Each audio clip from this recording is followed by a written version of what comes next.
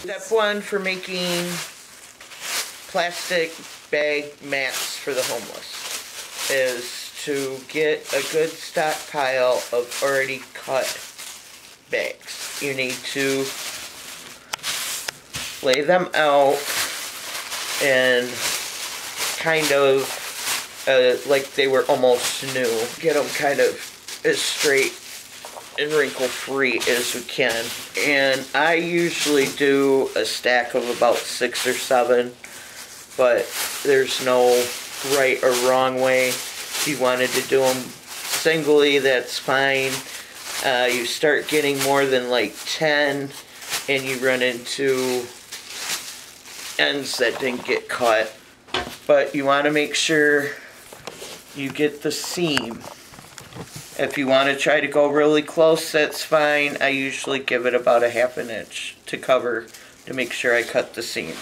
And on the handle part, you want to make sure you get below this little fuzzy stuff or you're going to have it all over your house. Just cut them out, lay them off to the side. It takes a thousand average bags to make one two and a half foot by six foot mat. Okay, so to start making, I call it scrunching. You can call whatever you want. If you want to get a nice color pattern, scrunch from the bottom and then roll in from the top so your colored in the middle stands out. And I just hook them on my finger as I go kind of roll them in up to the colored then take the top and roll it down so you have your color in the middle. Need four to start. Roll them up from the bottom, roll them up from the top, have your color. And once you have your four, take your three and take this one and bring it through the middle and a little bit of a loop, put your fingers through, grab your other one, pull it through, and you're making a knot. Kind of pull it off to the side, and then, then you have your three strands. Once you have your three wrapped into the one with your knot off to the side, if you want to get your color pattern, you keep your color up the best you can. It's not always going to be 100% up It doesn't matter. There's no quality control on this. Go, leave yourself a little loop, and then you go under, over, under, and then you bring it around, under, over,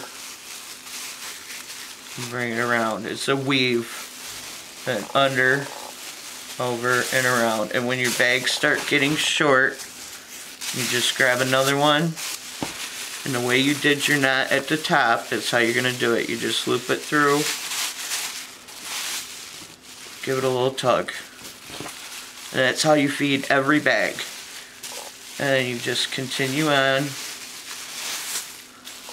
doing under and over. And if you could try to get your knots pushed a little bit so they're not sticking up as much. And just up and over. Back and forth. This is the most tedious part of it actually. And as you can see how I'm starting to get a color pattern going compared to where it's all white on the back. There's more color on the front. I really couldn't tell you because I've never really counted how many bags it takes going down to get about two and a half foot. And if you want to make them a little thinner or a little longer, it's all up to you. I have gotten carried away and not paid attention and ended up with some of them almost three and a half foot wide. This is your process through the whole thing. You just keep adding whenever they get low. And that's about where you want it, about two and a half foot. And now I use this little weighted wood to help out with this next step.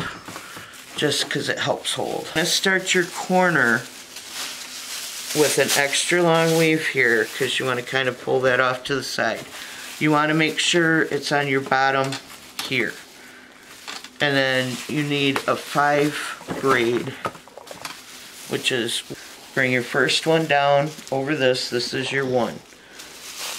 Here is your two coming this way. Three, four, and five. So you have all three of them again. And then you take your weave and continue your under, over, under, and I always put my finger in here just to leave a little loop because this is what you're going to connect with. And you go back, under, over, and now you want to go into your first hole. This is how anybody that knits or crochets or anything like that is probably going to realize that step. This is how you're going to connect your body. And then you under and over and around, under, over, around. And you want to go into your next in between your weaves, which is, these are your weaves. You want to grab your hole here, give a little tug. You don't want to go too tight. You want to leave some squish. Back down and around.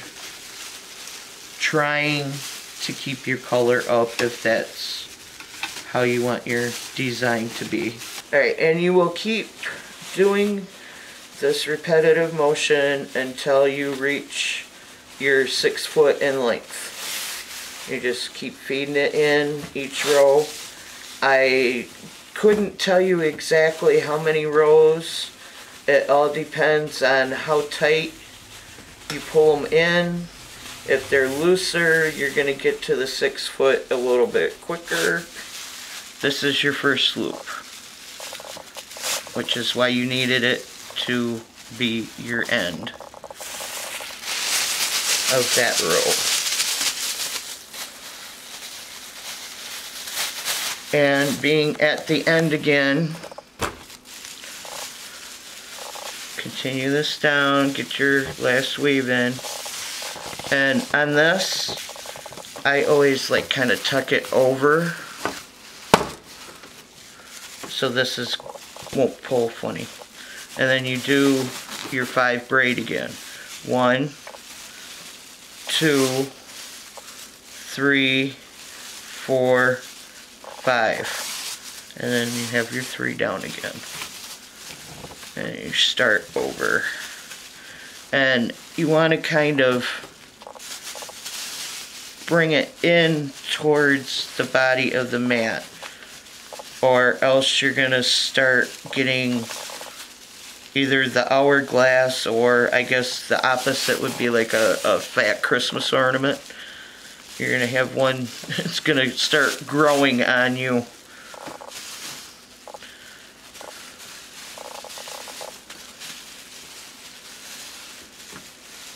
And there we are on our third row.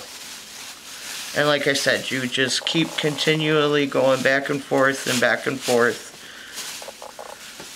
until you get your six foot length. To add in the strap, like I said, about two foot down into your mat, you're going to take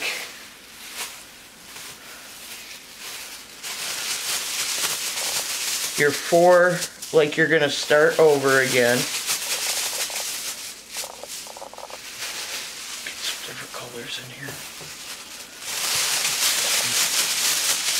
This also shows how you can do all different sizes if you're not trying to do a specific pattern or or color. Just any old bags. Start with your four down. And on this, you put them all together. I do three from the end. This is your end, one, two, three, and this is where you're coming out. You run your weaver through the middle of them. And then you grab your bottom one to continue on your pattern. And then you still do the same, wrapping up and over. Except now you have just a bigger pack in the middle here. And I try to do it closest one in. I don't use your end ones here, I use the first one.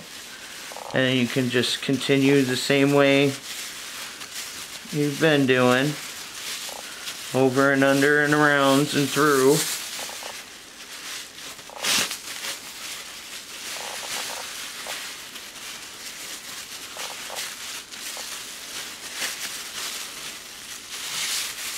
And there's your last loop. Bring it down.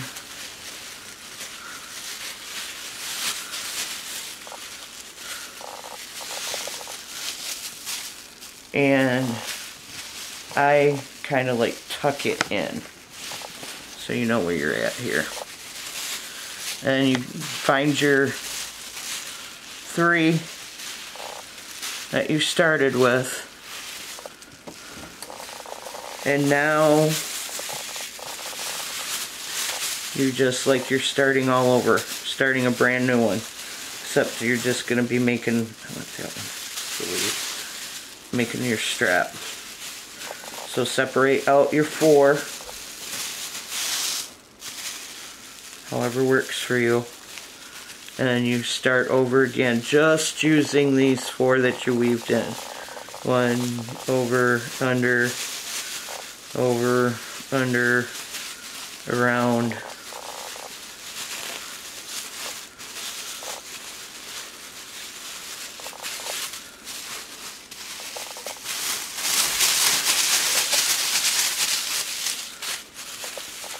and it's, you continue it on. I do about a three foot strap.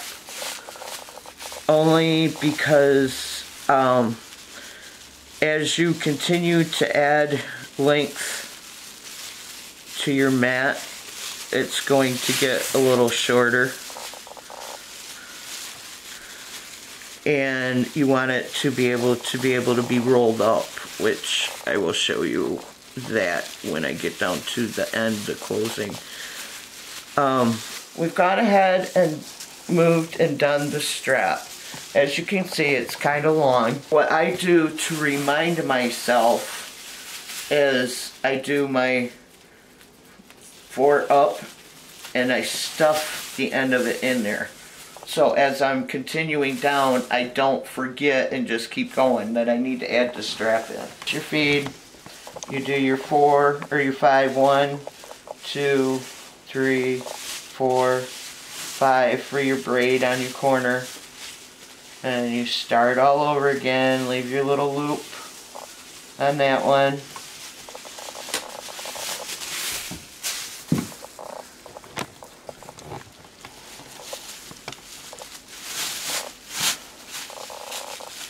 And at this point, too, if you do see yourself getting a little wider than the rest, you can pull on these that'll pull this in more. And it also works the same if you're starting to get the, like I said, the hourglass where you're getting smaller in the middle. You can use your braid and kick it out more to get your width back a little bit more standard. That we've done the strap and you try to get them all to the same length. You can pull these tighter to get some more length instead of adding a whole new bag on because you're going to use your ends as your loop just like we did when we started. And obviously they're not all exactly the same length one around a little bit more, give it some shorter. But you try to get them close to. And, and you go through, this would be where I put it in a hole. But if you can see where this is going to be on your end, this is about the length of where you want to start feeding it back in. So you do the same process, just pull this through, grab your bottom, oops, this one is going over top. And then put it in your hole, wrap it up over top of your whole bunch, and then just continue on like it is your single feed. So, after painstakingly about 10 hours is what takes me to get this far, if, if I already have all the bags cut. What I generally do is hold it up a little over my head. I'm 5'9". If it's on the floor and it's over my head, it's tall enough for the average person to lay down on it. And then you just roll them up. And this is also a good spot to show with the handle, the strap. This one's kind of shorter.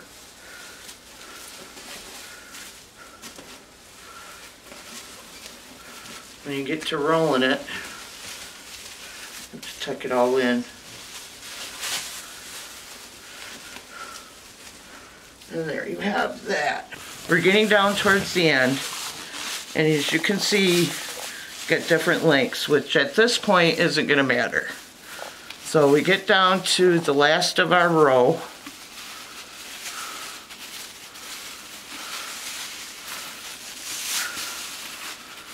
And just feed through your last little bits here.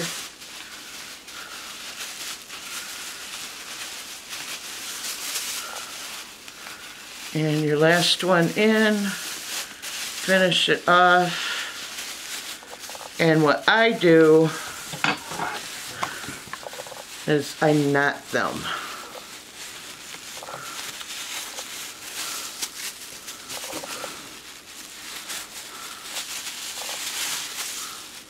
Start there because this is your end and if you start this on the end you're not going to have nothing to tie it to. Just looping them around. Give a good tug. And then I do one more just hooking them all together.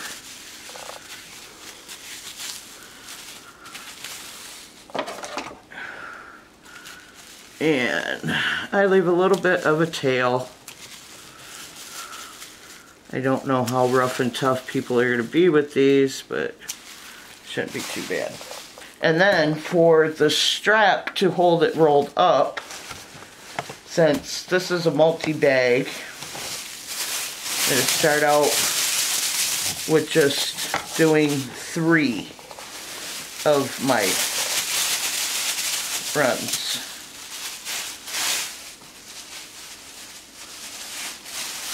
And this is just for the end the tie.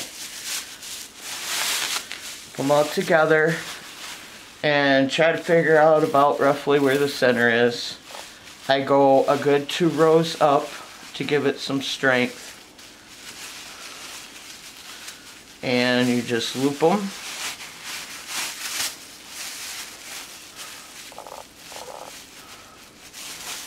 Separate them. And I just braid it.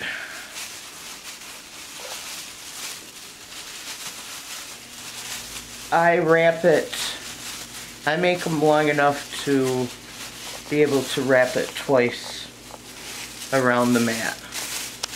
Just in case they do want to incorporate leaving their blankets or pillows or, you know, maybe it might even work if they can roll their clothes up in it for easier traveling. Whatever the case may be, they've got some extra length to add to it.